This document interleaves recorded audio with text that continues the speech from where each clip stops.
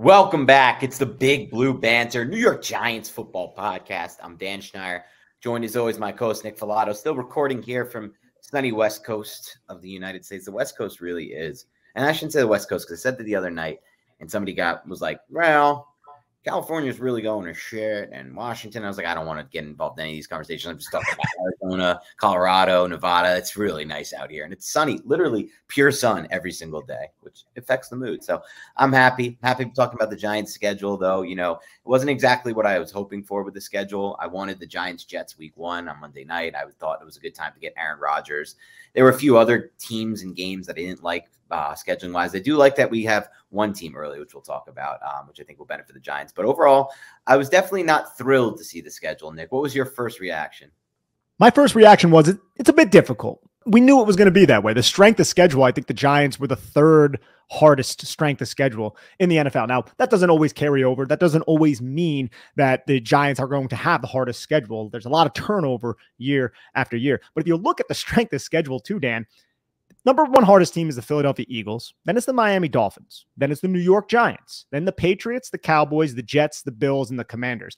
What do all of those teams have in common? They're playing each other. The yes, they're all playing each other because I don't know exactly who the AFC East played last year, but the Giants played and the, the Cowboys and the Eagles and Washington. The NFC East played the AFC South. That was a crap division that they just beat the crap out of. The Giants swept that division. So in order for the Giants to really have a successful year this year, they're going to need to win divisional games. It's something we've been saying since the season ended. They won one last year and they still went to the playoffs and ended up winning a playoff game. So you can defeat Dallas once, you know, you can defeat maybe Washington twice, and that can increase your odds of going back to the playoffs. But it's not going to be as easy of a road as they had last year. But they did have a bunch of improvements and upgrades on both the offense and defense. So hopefully that will allow the Giants to have some success this season. Yeah, they'll have to be also, Nick. They'll have to be like those 2011, 2007 teams, road warriors, because first first seven of their 11 games are all on the road.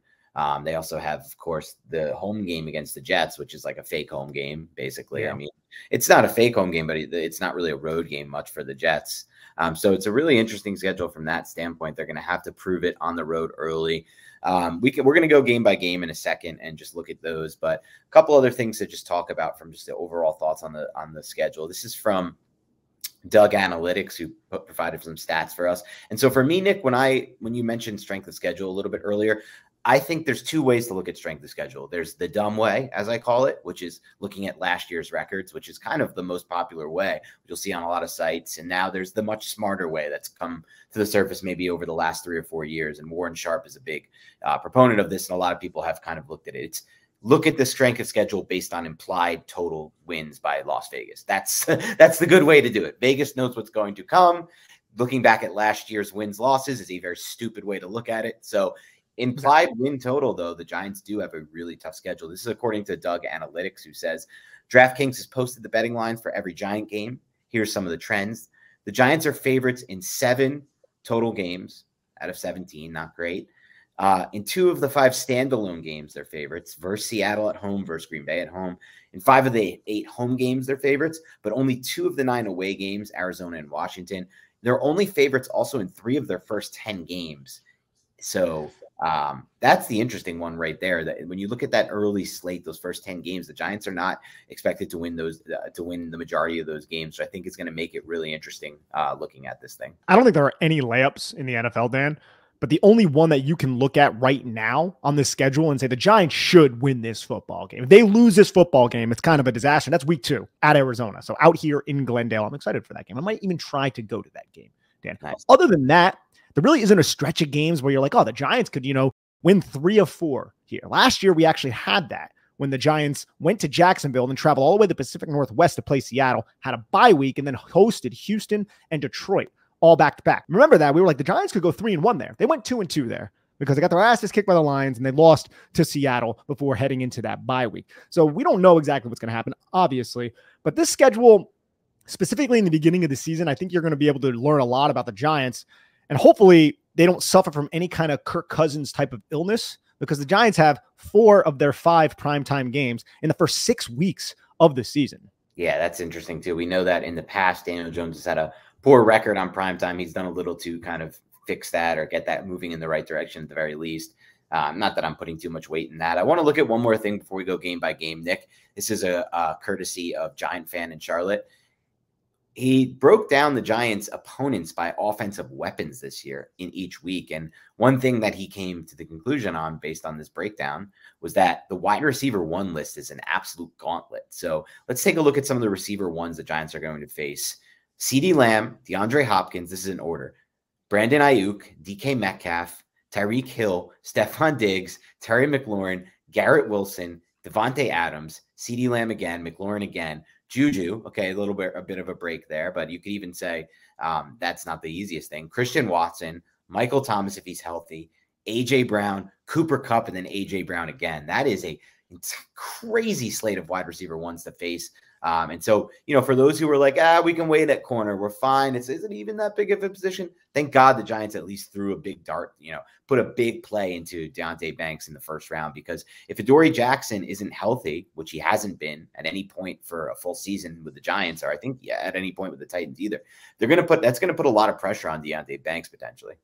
And even in week three against San Francisco, you brought up Brandon Aiyuk. You can make an argument that is Deebo Samuel. You can make an argument that is George Kittle. And we don't even know who the quarterback is going to be for the San Francisco 49ers. But Banks, he might struggle early on because he's going to get matched up. Offenses are going to try to match him up against their best wide receiver and throw him to the wolves, you know. But this kid, hopefully, he has the mental toughness to overcome some of the mistakes. You need to have the mental toughness if you're going to play cornerback successfully in the NFL. For sure. All right, Nick, let's take a look at the schedule game by game. We start here week one of course, they did it again. They love doing this game, the NFL. It's their favorite thing to do. It's the Giants, the Cowboys in prime time because of the ratings, and we get it. It oh, it never fails for them. It always succeeds for the NFL. Why would they not do this? Um, and this one, this time it's at home. Uh, yeah. First week of the season, Sunday night football against the Cowboys, Nick. And I'm going to say this: there was a big difference. I just think from a momentum standpoint, from a feel standpoint of what the Giants season was last year when they won that first game against the Titans. Yes, part of it is because of how it played out with Daboll's ballsy decision to go for two there and then the missed field goal at the end and the Giants win.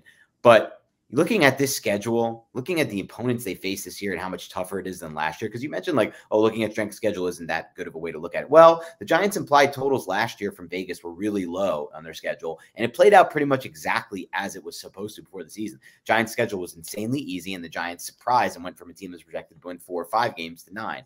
And this year, it's not an easy schedule. So to me, Nick, I look at this Dallas game at home as almost like a must-win playoff game right away. I don't love the fact that they're opening against Dallas for one reason, and it's because Mike McCarthy is going to be the play caller. And I'm not scared of Mike McCarthy, but we haven't seen Mike McCarthy be the play caller in quite a while. So there's not a lot of tape on it.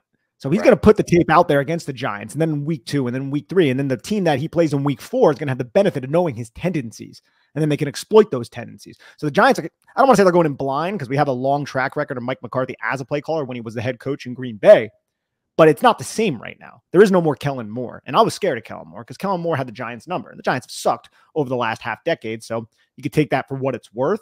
A little bit of an unknown with Mike McCarthy. And I wish they kind of had a little bit of tape on how he's actually going to call those regular season games because they don't have anything heading into week one. That's a great call, Nick, because anyone who looks at this is like, ah, it's Mike McCarthy. He's going to run slants flats from 11 personnel, the same thing every time is wrong. He's not going to run the exact same offense he ran in Green Bay. The personnel is completely different. The quarterback is completely different. Everything is different. And he obviously picked up a lot of what worked in his mind, at least with Kellen Moore. I know he had a different opinion on, on how much worked and how much didn't work with Kellen Moore than we do, maybe. Um, but in his mind, he picked up the good things, quote unquote, from Kellen Moore. So he's going to incorporate that as well. So the Giants are not really going to have any film on the type of offense he's going to call. And that is going to give the Cowboys an edge versus the Giants, you know, from their standpoint, the Cowboys.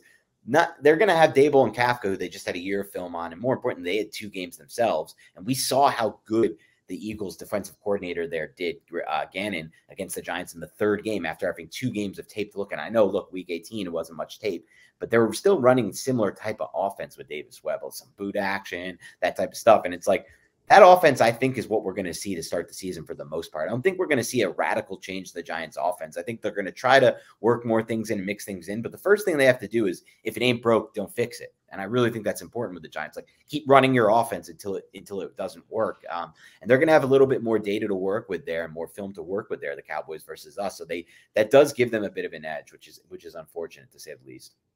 Hopefully, just being at home, that environment, like MetLife Stadium, needs to kind of rise to the occasion like it did last year. So the sheer fact that they were competitive allowed Giant fans to enjoy football into November and then into December and then even into January, which none of us really thought was quite possible. I guess we were a little bit higher on the Giants last season, but you're right, man.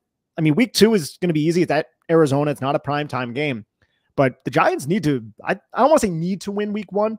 Looking at the schedule that we're about to go over, if you want to make another playoff push, man, like to win your at home division game against the Dallas right. Cowboys. You need to do that. You need to seize that opportunity. So we're going to learn a lot about this team, maybe even as early as week one. And you don't want the Giants to have to rely on the Eagles not playing their starters again in week 18 and and this yeah. time the Giants having to win the game. Like you need to if if you're expecting that the Cowboys game on the on the road is a loss or is potentially or more likely, let's say, a loss, you need to win your Cowboys home game. The Cowboys are not a team in my mind. Like I'll look at the Eagles and I'll say, and, and I'm not sure your opinion on this, but I'll look at the Eagles and I'll say, the Giants lose two games against the Eagles this year. Fine. I can expect that. I can assume that. It's all right. We're not really at that. The Giants are not really at that level yet. Um, they can still win those games. It's football. Anything could happen. But I don't look at the Cowboys the same way. I really don't think there's as much of a talent gap with the Cowboys versus the Giants at this point. And especially when you factor in the coaching as well, where I think the Giants have a clear edge on the offensive side of the ball. I don't know about defense. I do like the system they run there. But on offense, I feel like Kafka and Daboll give the Giants an edge over McCarthy and whatever else he's going to use to call. I think Schottenheimer got hired there again. I think Shoddy's back, the, the Shoddy kid. Shoddy was, I mean, he got a little better toward the end of his career coordinating, but he was at first he was as bad as it gets. And he also was a proponent of running a lot on second and 10, which is like the clear sign of a bad coordinator to me. Um, but like I said, you got to win these types of games. The talent gap is not really there. So we'll see what happens there. We get into week two. This is probably the biggest break the Giants got on their schedule. There's one more mini break, but not a lot of breaks, which we'll get into later, in my opinion. This is the one they got at Arizona, 405 game for those of you who want to watch Red Zone that Sunday. And I will be one of those who is appreciative of the fact that I get a one o'clock slate on Red Zone. Um, this is a good break for the Giants because, as you mentioned, Nick, a little bit earlier, you might have mentioned to me off pod, no Kyler Murray most likely for this game. Maybe he makes a miraculous recovery. Maybe he doesn't. I know some of you are very down on Kyler. I look, I'm more down on them than I've ever been, but I know for a fact if he's on that field, they have a much, much, much better chance of winning. And he's done some crazy things to win games for his teams, like one off things, where in my opinion, it was really just the quarterback and not much of the team or the coaching that won those games in the past. So I don't want him on the field. I don't think we're going to get him, Nick. I think that's a very good sign.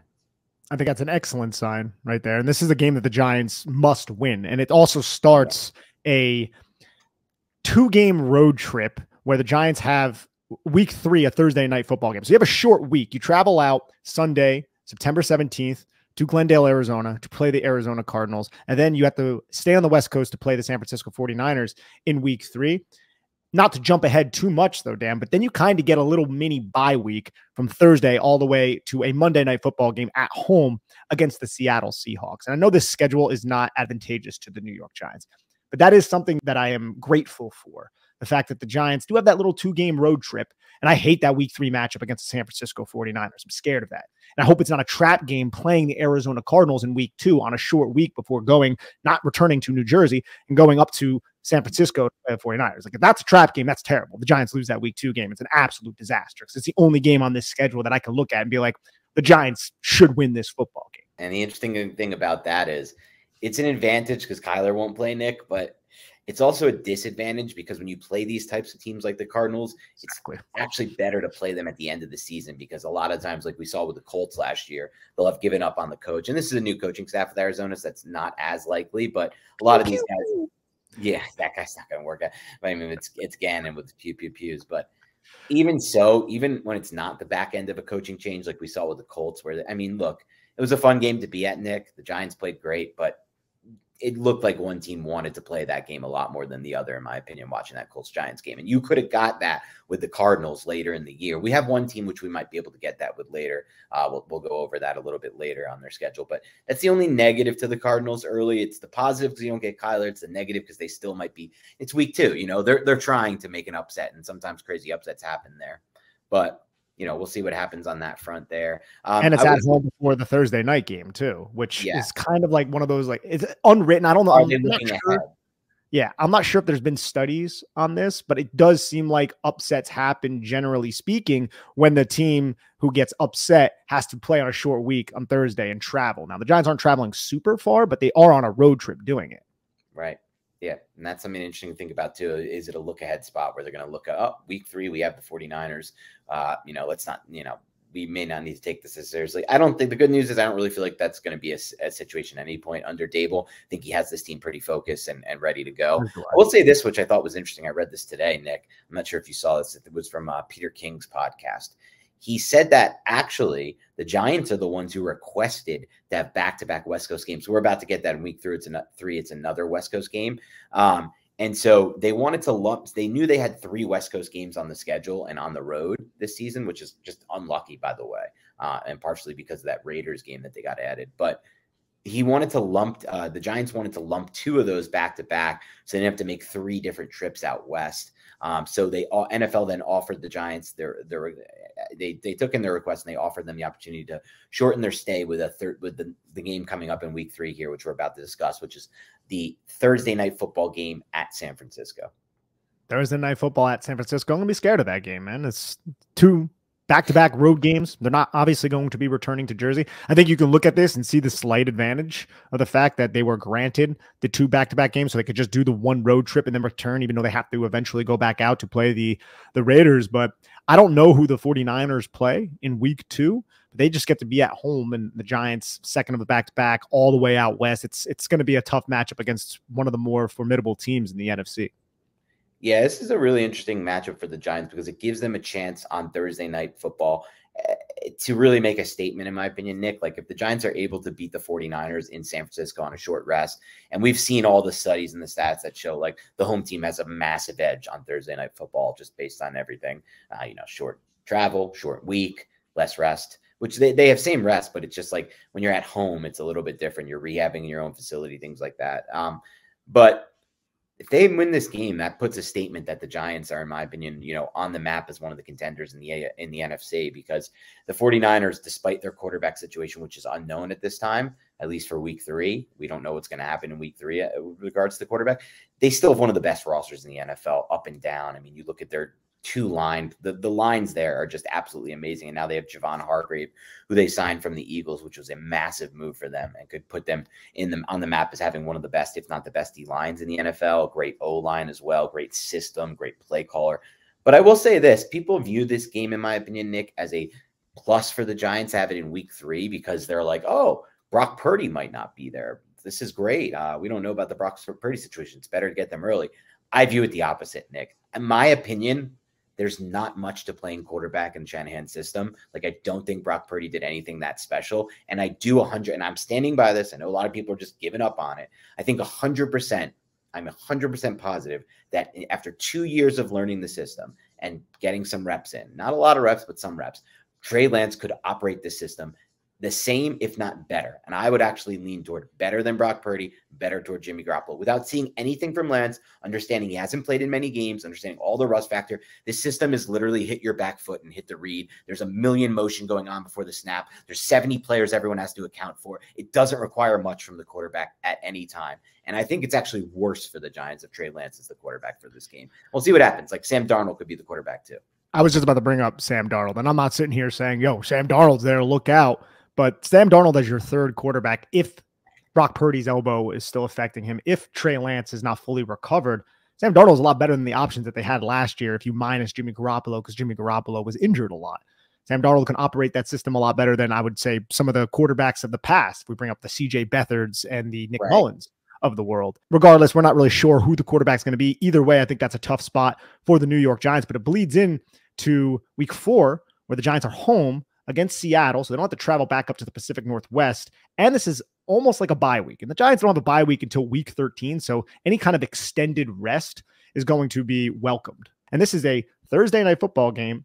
And then you don't have to play until Monday. That is good for the Giants right there. You know, you get that rest, but it is going to bleed into something that might be a little bit negative that we'll talk about here in a little bit.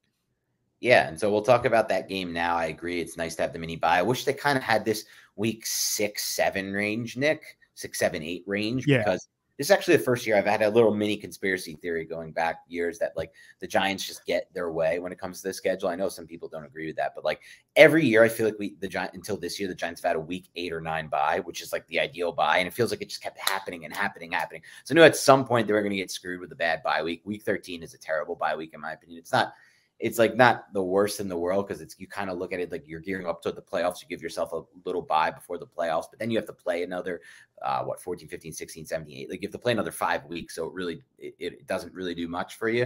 But you really want it mid-season. But at least like you said, they kind of get this mini bye. I'll say this: it's a home game against the Seahawks on Monday night football.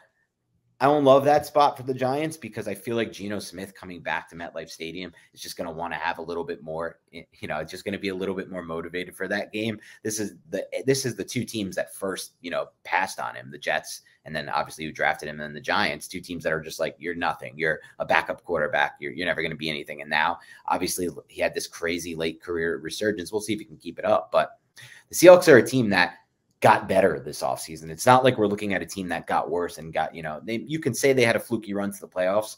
A lot of people might be saying that. And who knows if Geno Smith can keep it up. But this is a team that got a lot better. They got Jackson Smith-Njigba and Devon Witherspoon in out of this draft class. Those are two of the only blue chip talents in my mind that were even in the class alone. And now you're going to put out there for that game if they're all healthy. DK Metcalf, Tyler Lockett, Jackson Smith-Njigba. I don't know how the hell the Giants plan to match up with that, but it's going to be a mismatch the entire game. They're going to have to get pressure on Geno Smith early and often and beat up an O line that's actually pretty good as well. And that doesn't even get into the other side of the board where Devon Witherspoon makes a big difference for them immediately. And potentially a guy who you liked a lot in this class who they took in the second round, Derick Hall, who can who can add to, you know, an edge rushing situation that only improved last year. So this is going to be a really tough matchup. I think the Seahawks are going to be a good team this year. I think the Seahawks are a competitor in the NFC that not a lot of people are talking about because it's not sexy. And the expectations heading into last season was this is going to be the worst team in the NFL. And they exceeded expectations even more than the New York Giants did. This year, if Geno can maintain that level of play, and that's kind of the variable and the X factor to all this, if he can right. maintain that level of play, they're a, a true competitor for the NFC. Obviously, the Eagles have the edge, and then the 49ers, which are in the same division as Seattle. The one thing I don't love about it, yes, you get that little bye week from week three to week four. But this kind of sucks. You have a short week to travel down to Miami for that week five game because you play on Monday Night Football. So that's another kind of negative. You know, one of those things where everything's going to be a little bit truncated for the New York Giants. Everything has to be accelerated. That's a fair point too. I mean, look, it's it's going to be interesting, and then it leads us to week five on the road for the Giants. Remember, seven of the first ten games are on the road against Miami this is not a great spot, I don't think, either for the Giants because I was hoping to get Miami later on the schedule because I wanted to potentially have some injuries. At this is a weird thing to talk about, but like, you know, I know what you mean, but I don't want, yeah, I don't want like injuries to these players, but like, who knows what could have been going on with their quarterback situation later in the year? They don't really have Skylar Thompson. Yeah, exactly. That's the point. They don't really have many options behind Tua. Um, so instead, they get him early.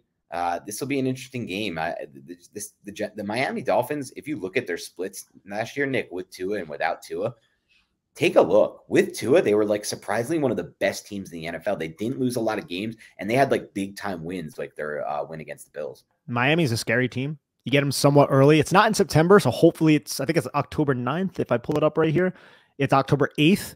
It's going to be a one o'clock game on a Sunday.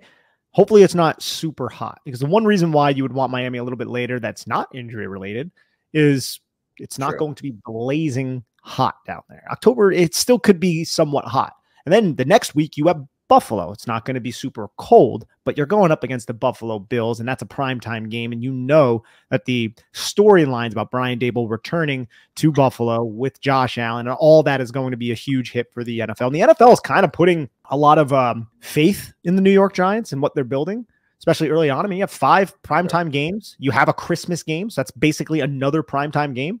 And four of them are in those first six weeks. That is a lot of New York Giants football early on. The Giants could rise to the occasion. They can flounder. I think they're going to be well prepared, but these are going to be really hard, competitive, hard fought games for the Giants to overcome. And I'm looking forward to seeing how Daniel Jones can get this done. Hopefully, the Giants can win some games early because it's, uh, like we've said several times with the podcast, not an easy schedule. It's a great point. Four of their first six games are prime time, and they're going to have another one later in the year, and they're going to have the Christmas. I mean, they're really expecting an uptick from Daboll and and Jones and Shane as far as the offense goes because the Giants weren't an exciting offense really last year. They were more exciting than in years past. They found a way to create some yards, you know some some plays. They didn't score that many points though, or that many touchdowns on offense uh, or explosive plays. So they're really, like you said, putting faith in the Giants being exciting again. I think it also helps them that like the Giants are just the type of team that as long as they're pretty good like they were last year, they're generating ratings for you um, as far as TV ratings goes, and that's why the NFL is interested there. But it leads us to one of the toughest games on the schedule here in Week Six on the road against the Buffalo Bills on Sunday Night Football. Wow, that's going to be interesting. It's going to be really interesting. And I already brought up some of those storylines that are going to be discussed by a lot of national TV and national NFL coverage. Brian Daboll returning to the Buffalo Bills. Josh Allen, that's it's tough, man. And now, man, Josh Allen's tweeting, "Yo, I'm more dialed in than I've ever been." They're going to be on an absolute tear, and they've also improved their roster. Yeah, it's going to be interesting too because they added two. Their their two premium assets this offseason were spent on the interior offensive line and also at tight end with a player like Dalton Kincaid, who is like a tight end slash receiver slash really difficult matchup. So I'm really interested to see how the Giants play the Bills there. Like, are they going to uh, as far as like how Wink Martindale plays them on the other side of the ball, that that that's a whole other story. But on the on the defense side of the ball for the Giants, I'm curious if they're going to play one of those game plans where it's like take the run, we'll give we'll give up the run to you, um, and can the Bills take advantage of that? Because last year that was their biggest issue. Teams were giving them the run, but they weren't blocking well and they weren't running the ball that well at all times. And remember, then, they they added Damien Harris too to their right. roster. So right. that is like a that's a ham. That's something they have not had in quite a while. That kind of just hammer like hard right. nose. Like Devin Singletary wasn't that. Zach Moss was supposed to be that. Zach Moss never materialized in that. And they also have James Cook from last year, who I'm sure will be more involved in the offense. Yeah, that's a concern. Or it's like, or do they the Giants have they spread out the Giants and ha- what kind of who did the Giants even use to match up against Kincaid? Because by this point of the season, week six, I think they'll be fully immersed in that offense. And it's like, are they going to bring drop down McKinney and use McKinney there? And then how does that impact in the them in the deeper halves against players like Gabe Davis and, and Stefon Diggs? So it's going to be really interesting to see how the Giants match that up defensively. But I think that the Giants are going to need to score a lot of points in that game. I would say so. And hopefully the additions of Darren Waller and Paris Campbell bringing back Saquon Barkley on the franchise tag will actually help the Giants throughout this early part of the schedule. And then we have the Washington Commanders at home on October 22nd, a one o'clock start against the Washington Commanders, a team that, like, look, the Giants kind of own them recently, Dan, but I'm still scared to play this team, even though they have who? Sam Howell as their quarterback right now. I know it's an interdivision game, but that defensive line, we know they have given the New York Giants offensive line, specifically on the interior with Jonathan Allen and Daron Payne, a lot of fits at least this is a, a home game after that two game road trip. Yeah, the Giants have, in our minds, owned them because I feel like we feel we can we equate that with how the games were actually played versus the finals. But despite quote unquote owning them in the games, which I agree with you on, like the Giants outplayed them all these games. They tied a game last year and they lost a game the year before to Washington. So they didn't really like haven't really exactly owned them in the record. And I think this year more than ever, they're going to have to sweep Washington if they want to make the playoffs. And that's just the fact of the matter here, especially if we're saying at best the Giants are going to win one of four it's not a best, but like because football, anything could happen. But like realistically, if the Giants win one of four games against the Cowboys and the Eagles, which I think is a fair thing to realistically say they should be, you know, they will be doing, they basically need to sweep Washington in my mind and go three and three in the division there. Um, and that's not going to be the easiest test, like you said. Not in addition to what you mentioned with their defensive line, I also have a defensive coordinator who, in my opinion, has done a really good job scheming against Daniel Jones and kind of trying to counter what the Giants are doing offensively and and and take advantage of maybe some of the things the Giants aren't doing offensively in the past game, which we saw and talked about a bunch last season. So it's not going to be an easy matchup, but again, I do really feel uh, strongly in saying they have to win this game and then the next game against Washington. I'd say so. And then that bleeds us into week eight, October 29th, which it's a home game against the New York Jets, which I hate, man. I hate the fact that this is going to be a home game against a team who also yeah. resides in this freaking building. They get the cheapest away game there is. The Giants have benefited from this in the past, but the Jets, bro, with Aaron Rodgers, who's going to be well acquainted with his offense by this point of the season, it's a tough matchup. You know, this is a a real Snoopy Bowl, right? This isn't the the crappy preseason Snoopy Bowl that we that we've become accustomed to seeing. And I'm a little bit uh, afraid of the New York Jets right now with that defense. Yeah, I was really hoping this game was uh, as originally reported in September 11th. Mm-hmm. I just feel like you want to get the Jets early, not late or mid, because you want to get them before Aaron Rodgers has any time to build a rapport with Garrett Wilson, any time to build a rapport with Breece Hall, any time to really get himself feeling like this is his team and, and he feels comfortable with them. Instead, they get a mid-season. This point, I feel like Aaron Rodgers will be ingratiated with this offense and with his teammates. So it's going to be a really difficult game for the Giants. But the Giants did beat Aaron Rodgers last year. Unfortunately, for the uh, not unfortunately, reality is that that Packers team is considerably worse last year than the Jets team. A lot of that was coordinator based, but that's a big part of the NFL coaching. And that defense was insanely poorly coached in that in the Giants win against the Packers, and it led to that 90-yard touchdown drive by the by the Giants. It led to those deep crossers being wide open and stupid communication breakdowns by the Packers secondary. None of that is happening against Robert Saleh. That's the problem. Robert Saleh is one of the best coordinators in the NFL, and he has a lot of talent to work with on that defense. So none of those things are going to happen. So the Giants are going to have to find a way to generate enough points because you know Aaron Rodgers is going to put up some kind of production against the Giants on the scoreboard. Yeah, it's it's a tough situation for the Giants right there. It was that week eight. And yes. then you start your three game road trip, which sucks. Week nine, through week 11. You have to go back out to the West Coast for Las Vegas. And that is a just Sunday game, 225 my time. So I'm guessing it's going to be 425 East Coast time. And then you have the Dallas Cowboys and then Washington. So you have two of your NFC East rivals back to back on the road.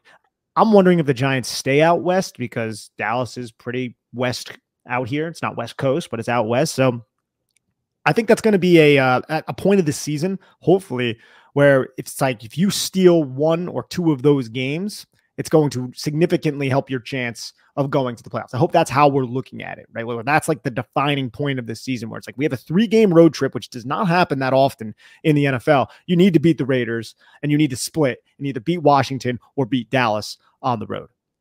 Yeah, that's a good way to look at this three game stretch, Nick. And and we're gonna have to see what happens with the Raiders starting this off because they have Jimmy Garoppolo in at quarterback right now. They didn't really draft behind him, so we're not exactly sure. I'm assuming he'll be there all season. Uh, I think the they got the kid from Purdue, didn't they? They did get O'Connell, who I know you like a lot, but I I, I doubt we'll see him this year. We don't know though. Um, so that's I feel like is as close to a must-win game as the one you mentioned earlier against the Cardinals. Again, this Raiders team is actually not that bad and they have a pretty decent roster, and they added Tyree Wilson to a pretty damn good uh, defensive line there. But it's definitely a team where if the Giants are making the playoffs, they're they're winning this game. And then obviously Dallas on the road, tough. But remember that Dallas game the Giants played on the road last year if that Isaiah Hodgins touchdown doesn't get called back, and you look at it after the fact, and people who played offensive line, the people who played in the NFL said this was a bad call. That the refs just missed this one. This is one that never gets called.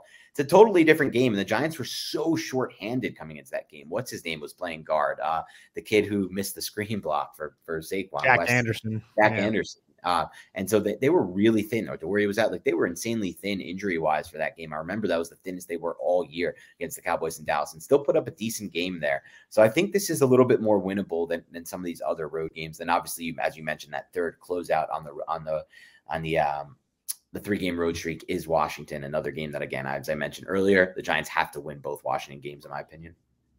I think so too. I think you have to at least split the Dallas and Washington games that are back to back. I mean, look look at the schedule though leading up to me. San Francisco, Seattle, Miami, Buffalo, Washington, New York, Jets. Like those are some tough matchups right there. You need to you need to win these division games. I think that's what it's going to come down to. The Giants can make the playoffs again. We can see what happens, but they need to win more than just one freaking division game. The fact that they won one division game and somehow still made the playoffs and beat the Vikings in the playoffs, that does not happen a lot. Like those combination when you fail in your division as drastically as the Giants did in 2022, you typically do not end up going to the playoffs. They were just benefiting from the fact that the NFC sucked so bad that they ended up making the playoffs as a third seed in their own division. Yeah, they benefit from that, and they benefited from playing the AFC South, which you don't get to do every year. You don't get the Titans, Jags, Texans, and who's the, the fourth team in there? And who? Colts. The Colts. Like this is like that, that was such a bad division the Giants faced last year. The worst in the NFL. I think the Jaguars made it at seven and with seven wins or eight wins to the playoffs there, eight and nine maybe. So that was a huge benefit. And what happened? The Giants swept the division. So again, that's just not something you're going to get this year. And so because of that, you probably need to add two more wins from the division, I would say, with the idea that maybe you steal a game against Miami and the Jets. And so you split against the AFC East, lose, or you, you know, maybe it's Jets, Jets Patriots or or Dolphins Patriots that you win. But either way, you split those two games and you add two more wins in the division to kind of even that whole thing out there. Would be what kind of along lines I'm thinking. That brings us to our next game here in Week 12. Uh, this one is also at home after a three game road streak, and that's the Patriots. Um, so we'll see what happens here. I think a lot of people are writing off the Patriots, Nick, and I think we could see now, I don't think it's definite that it's going to happen, but we could see a Daboll Kafka esque type impact on that entire offense, bringing in Bill O'Brien, who is not a great general, a horrific general manager slash coach. wasn't was an okay head coach, pretty good head coach, above average. But as an offensive coordinator, straight up, I think he's going to be a good coordinator. I think more importantly, he's going to be a really good voice for the quarterback there um, and for the entire offense there. So it could be a people are sleeping on this team, but they could have one of the biggest jumps uh, like the Giants had from 2021 to 22, just in the pure sense of the coaching makes this a difference that's this large because you're talking about a team that was as poorly coached on offense as any team in the NFL last year. Some would make the case it was the most poorly coached offense in the NFL. And now you're going to, uh, you know, top 10, top 12 potentially there. Exactly. Bill O'Brien is such a better offensive coach than Matt Patricia and Joe Judge. I don't know what Bill Belichick was doing. That was hubris. That was on Bill Belichick, and I'm smarter than everybody. And it turns out that no, you're not in this case. You can't put defensive coaches and people who are football guys in charge of this offense. We saw it just flounder. They had no passing attack whatsoever, and yet still they dropped uh, Mac Jones. I think threw for over 400 yards against Ed Donatell at the Minnesota Vikings. So let's yeah. keep that in the context a little bit here. I think it's important, but um, yeah, they're going to improve, and then. I'm a little like again the AFC East to me. There's no easy win there, or even like a win where where it's like you know what I'm just going to easily say that they're going to win this game. They might not, but I'm easily feel comfortable enough to say yeah. Last year we had a bunch of those on the schedule. We had basically the entire AFC South. We had teams like Seattle who beat the crap out of the Giants. We had teams like Detroit who beat the crap out of the Giants. So we were like, these should be easy wins. It goes to show you that you know what we think now doesn't really, really mean much. But at the same time, you look at this schedule with the NFC West you have the Cardinals. We don't really know what the Rams are going to be. We have the Cardinals and the Rams, but Seattle and San Francisco are both two scary teams. And then the Giants also play what? Green Bay, New Orleans, and the Raiders. But the New Orleans game is in New Orleans, which the Giants historically play like crap when they're down there in New Orleans. And then Green Bay is at home. I would hope that's a winnable game, but we'll have to wait and see. But in terms of the Patriots, you go right into a bye week after that. So it's not an easy matchup, but you go right into a bye week and then you stay at home against the Green Bay Packers coming out of the bye week in week 14. And then the Giants from there on out only have one trip where they're traveling away from basically the Northeast. And that's when they go down to New Orleans. And we'll get to that in a little bit. Yeah, and that first game out of the bye week, Monday night against the Packers, it's another one I was hoping would be early. The Packers was another matchup I was hoping would be a little bit earlier in the schedule. Jordan Love, not that many reps, um, so mm. I was hoping to get him earlier when he doesn't have time. I also feel like, especially with the way the Packers drafted and crafted their roster moving forward, the re, you know they drafted the two premium picks, a position that typically takes longer than any other position besides quarterback to really get going in the NFL, maybe besides offensive line too. At tight end, like tight end is one of the longest developing positions, but now you have here instead of maybe getting them week two, week three, week four, week five, you get them week 14. And they've now had 13 weeks to kind of get that offense up to speed, get those tight ends up to speed. And if they have it going the way they want it, they want to be a 12 heavy offense with those two tight ends. And if they get that going, it's going to be present some really difficult matchups for Wink Martindale and the Giants. It's going to present some really difficult spots just because he hasn't seen a lot of those types of offenses on film at that point. So it's like a big adjustment. So this is a very winnable game, in my opinion, against the Packers. But I, I was hoping to get a little earlier on the schedule.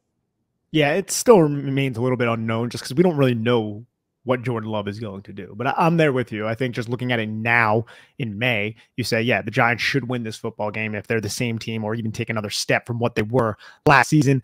But this bleeds into a two game road trip Sunday night or Sunday morning, I'm sorry, at New Orleans, and then a Monday night game on Christmas, or just a Monday game on Christmas against the Philadelphia Eagles. And one interesting note, too, about this, Dan the mm-hmm. Giants, before the bye week, get both of their Washington games and both of their Dallas games out of the way. So they're not going to have that like week to, hey, let's go over like a pro scouting report on what the hell the Washington Commanders and the Dallas Cowboys are doing. So they don't really have that benefit. They have to prepare for each game heading sure. in. They don't have that bye week. The only team that they play after the bye week is the Philadelphia Eagles, and they play them twice. Hopefully, the Eagles are sitting all their guys in week 18 like last year, but we can't really rely on that.